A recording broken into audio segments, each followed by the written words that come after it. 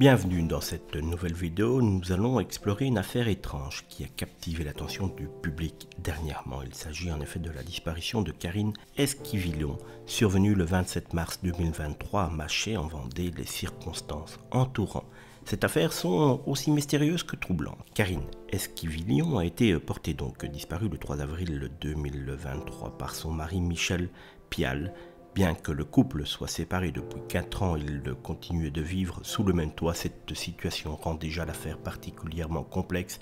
Malheureusement, plusieurs personnes sont dans le même cas car ils ne peuvent pas prendre un logement tout seul. Quatre jours après la disparition, les enfants de Karine ont reçu deux photos de la dune du Pila sur le téléphone portable de leur maman.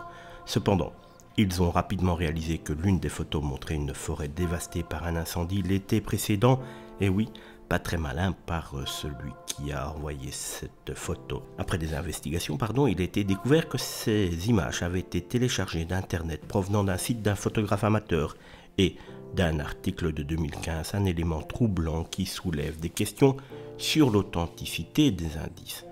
Dans l'émission de télévision 7 à 8 diffusée sur TF1, des révélations sur le passé de Michel Le Pial ont émergé il était déjà connu des services de police et avait été condamné à plusieurs reprises entre 1998 et 2001 pour divers délits, dont une escroquerie au faux lingot d'or, faux usage de faux et contrefaçon. Cette information jette une ombre de suspicion sur le mari de la disparue lors de son entretien avec 7 à 8. Michel Pial a reconnu comprendre les doutes qui pèsent sur lui en raison des euh, affaires judiciaires passées, par exemple Cédric Jubilard.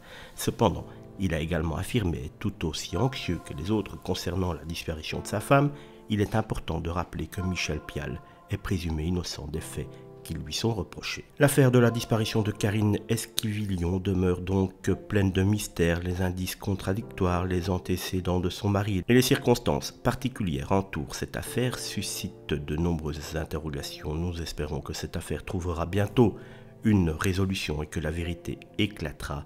N'hésitez pas à partager vos théories et opinions dans les commentaires ci-dessous.